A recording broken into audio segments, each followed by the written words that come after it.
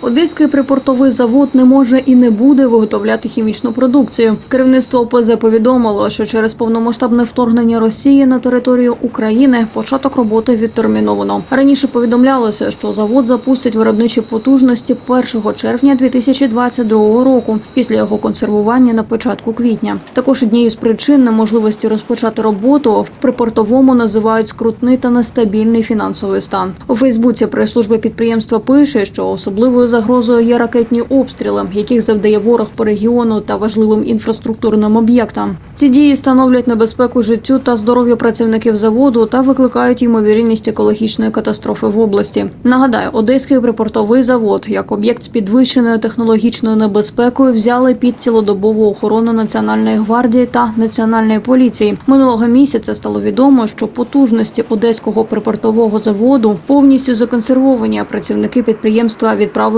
у безстрокову відпустку через воєнний стан в Україні. Зазначу, що 20 травня внаслідок удару російськими ракетами по Одещині постраждало промислове підприємство з добривами. Внаслідок удару стався вибух і спалахнула пожежа, яку рятувальникам вдалося швидко ліквідувати. Постраждалих та загрози життю людей та навколишньому середовищу не було. Втім, зруйновано промислові об'єкти. Одразу після прильоту російські змі повідомили, що ракетами повітряного базування повітряно-космічних сил РФ знищено сховище з паливом на одному з заводів одеського регіону, які за їх версією призначалися для бронетехніки.